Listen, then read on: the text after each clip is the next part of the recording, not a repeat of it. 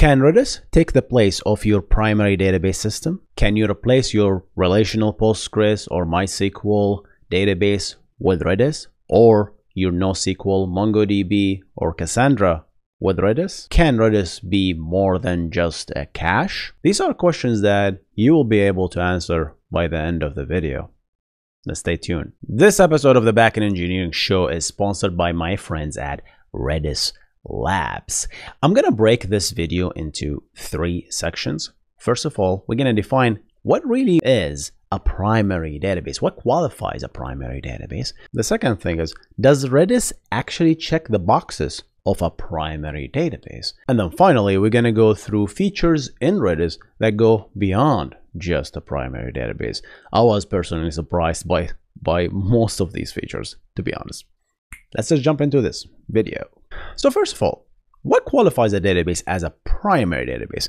Uh, these are few features slash capabilities that a primary database must have in order to be considered uh, your uh, pillar uh, data store where you store your information. And these are not set on stone features. You can argue about these kind of features. But in my opinion, I think these features are what qualifies a database as to be your primary main database system. Atomicity. Individual statements in a transaction should all succeed or fail, thus provide a unit of work.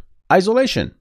How isolated a given transaction is from changes made by other concurrent transactions. Durability. Writes committed by a transaction must persist on a storage medium that even if in case of a failure, we should see these writes, and these writes should not be lost. Consistency.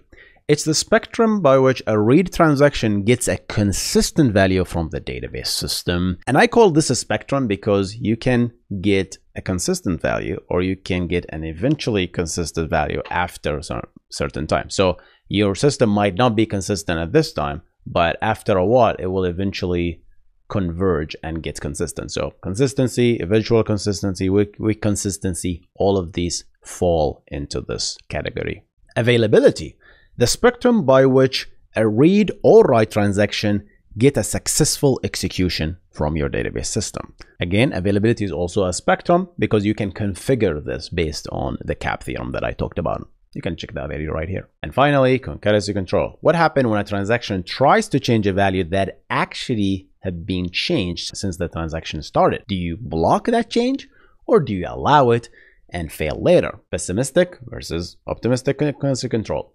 Very popular tool method. There's no right or wrong. I talked about this in video in detail if you want to learn about concurrency control here. Check it out. Now that we know some of the properties of a primary database, does Redis actually check those boxes? Let's see. Atomicity. Yes, Redis is atomic. You can start a transaction and you can do multiple statements, multiple commands, and then you can commit these changes. And if there is a failure, if you're using AOF, append only file, Redis will make sure to only commit all of these commands or none of them at all. So Redis is atomic. Isolation. Redis uses the highest level of isolation, which is called serializable. So if you're executing two transactions at the same time, they will be serialized to be exactly after each other. Durability. Redis have something called append only file durability format, which is very similar to the WAL write ahead log or the redo files in other databases. And any command or transaction that you commit goes into this append only file. And, and it's very fast because it's append only. So you can achieve high durability with append only file. And the good thing about Redis with durability is that you can configure this durability. It's almost like a spectrum. Unlike other databases, you can go with snapshot durability. That means all writes that have been happening to memory, which is very fast, will be flushed to disk. That snapshot of the memory will be flushed to disk asynchronously on the background every X amount of seconds. The power of that, your writes will be super fast because you're always writing to memory. And asynchronously, you're gonna write and persist this to disk. Yeah, there is a possibility of failure, but this is something you can figure. Do you want strong durability? Go with AOF. If you want fast write, you go with snapshot. And you can actually combine those two as well. Just like other databases, you can configure Redis to be strongly consistent or eventually consistent. Strong consistency is done by uh, generally synchronous replications. That means you issue a write to a master node. That write does not commit until it commits to all other worker nodes. If you want faster writes, you do asynchronous replication. So as long as the master write succeeds, commit and tell me it's done. Asynchronously in the background, update your worker nodes. And as a result, yeah, reads might get a little bit of a staler version, but the writes are fast.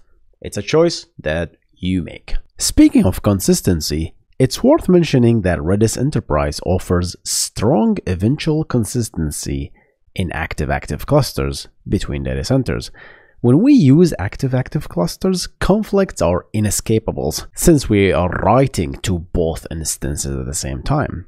And when we get conflicts, we are bound to be weakly consistent. Redis Enterprise offers conflict-free replication through predefined rules. And as a result, we get strong eventual consistency between those instances. And availability. Redis is available and you can configure this availability based on the asynchronous replication versus synchronous replication. If you chose strong consistency, usually you're not that available because if any write from the master to the worker failed, then you're really, really not available, right? Because you're gonna fail the write, right? And on the other hand, if you chose eventual consistency, then yeah, your writes will always succeed as you're available, but you might get a little bit of a stale data.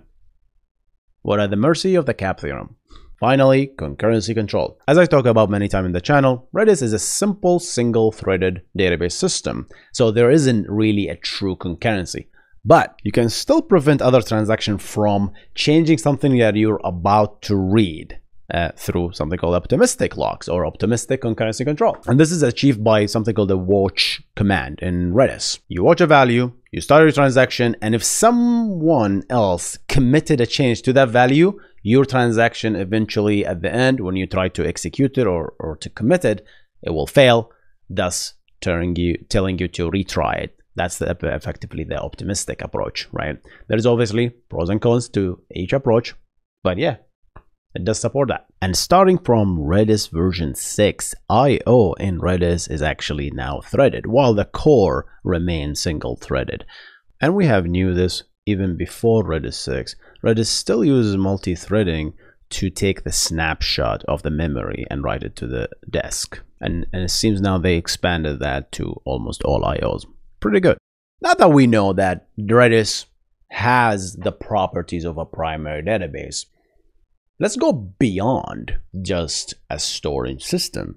And actually, I made a few videos talking about some of these features. You may know Redis for caching, but it's actually used for about 20 completely different things.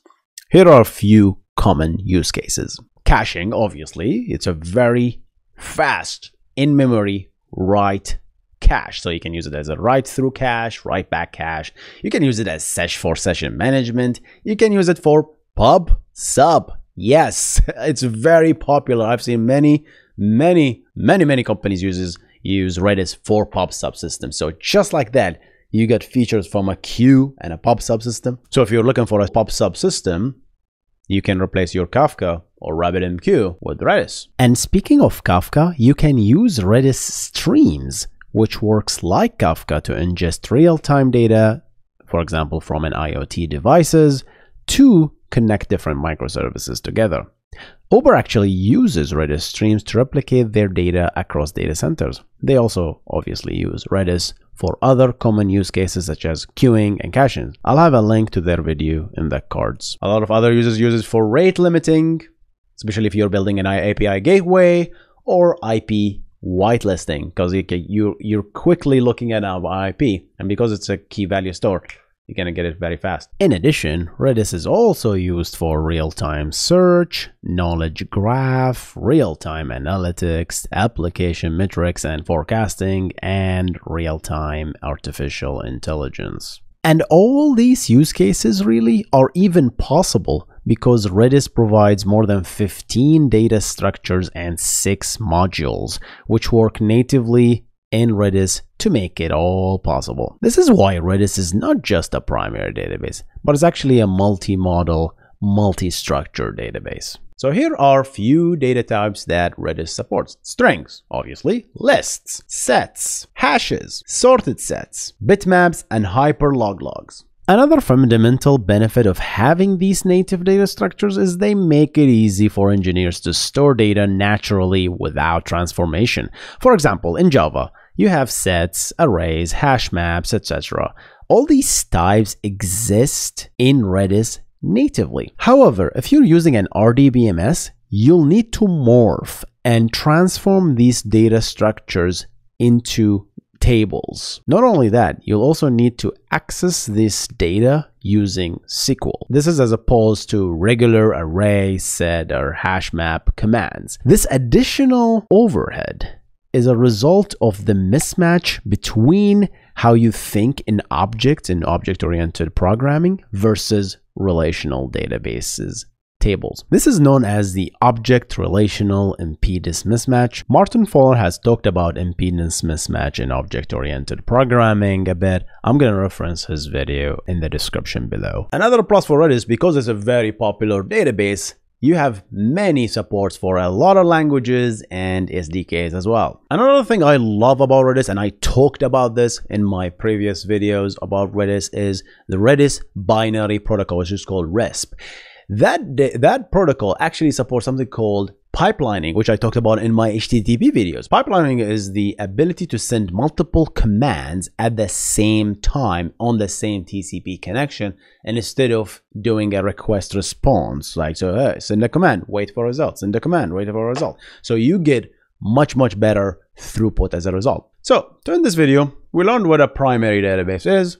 We so that Redis checks these boxes of a primary database. We also seen that Redis use cases go beyond just a primary database. We've seen how Redis is a multi-model database. We've seen it reduce the impedance mismatch in programming with native data types. And finally, Redis Enterprise provides even more enterprise-grade features such as active-active, conflict-free geo replication. Now I gotta ask the question to you guys. What do you think? Can Redis be used as a primary database? Let me know in those comments down below. I'm gonna see you on the next one. You guys stay awesome. Goodbye.